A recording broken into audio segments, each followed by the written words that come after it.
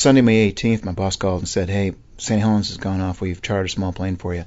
Go over and see." So we jumped on a plane, a little Cessna, and flew over there. And it was a huge cloud, and we had to fly around it. Uh, we couldn't go over it, and we didn't want to go through it, so we went around it and came in from the southwest.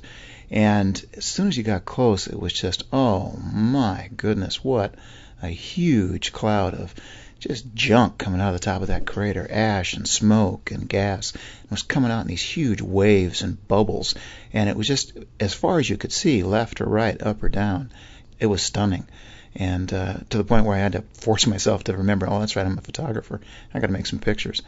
So uh, we did that and landed, called back in. They said stay, and I gave the film to the pilot, and the pilot tried to get back to Spokane, but uh, could only make it as far as Lewiston. So he landed in Lewiston. We called the paper down there. They transmitted a picture back up to us.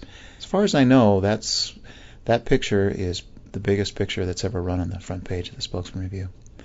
And 40 years of doing this job, I don't keep much of my stuff hanging on the wall, but that's one I framed and kept that's a that's a memory.